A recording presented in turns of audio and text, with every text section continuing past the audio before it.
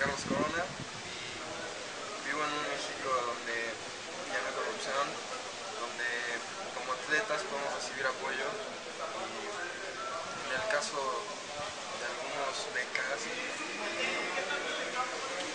podemos llegar a las Olimpiadas y traer mucho más medallas que a lo mejor unas, dos medallas que por lo general traemos. Estamos a la par con Estados Unidos y ya no somos un país tercermundista, este, podemos presumir que somos una economía,